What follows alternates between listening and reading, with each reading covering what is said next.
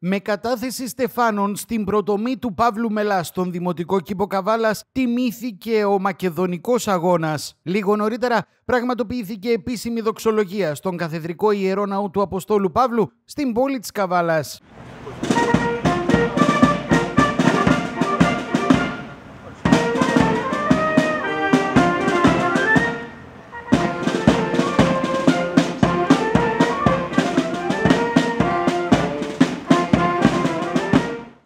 Αυτός και τας ψυχάς των δούλων σου σώτερα να παυσώ. και νικαιοεί και εις τους αιώνες των αιώνων.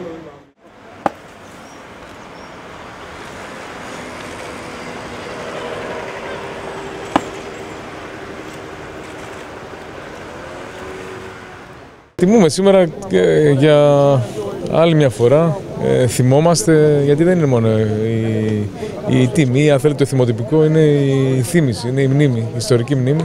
Τιμούμε το μακεδονικό αγώνα, ε, τιμούμε τους ε, μακεδονομάχους μας οι οποίοι ε, κυριολεκτικά έδωσαν το αίμα τους. Ένας εξ αυτών βρίσκεται πίσω μου αυτή τη στιγμή, μιλώ για τον Παύλο Μελά, έδωσαν το αίμα τους και τη ζωή τους προκειμένου να υπερασπιστούν την Ελλάδα, τον ελληνισμό και την ε, ελληνικότητα των ε, εδαφών μας. Σε μια περίοδο που πάρα πολύ επιβουλεύονται τα κυριαρχικά μας δικαιώματα, ε, σε μια επικίνδυνη και ύποπτη εποχή, νομίζω ότι αν μη τι άλλο πρέπει να θυμόμαστε, πρέπει να θυμόμαστε με την, όλες τις τιμές που τους αξίζουν τους πρόγονους μας, τους ήρωές μας και αυτό κάναμε και σήμερα.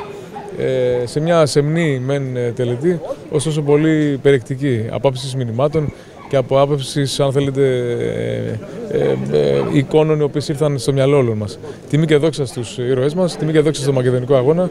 Η Μακεδονία είναι ελληνική και νομίζω ότι με αυτό δεν χρειάζεται να πω τίποτα άλλο. Ευχαριστώ. Ο πρόεδρος της Ένωσης Αποστράβων Αξιωματικών Στρατού. Και πάλι πιστοί στο ραντεβού μας, γιορτάζουμε την ημέρα μνήμης του Μακεδονικού Αγώνα. Τιμούμε όσους έδωσαν τη ζωή τους για την ελευθερία μας, προσπαθούμε να τους μοιάσουμε και είμαστε εδώ για να δείξουμε στις επόμενες γενιές ότι δεν πρέπει να ξεχνάμε.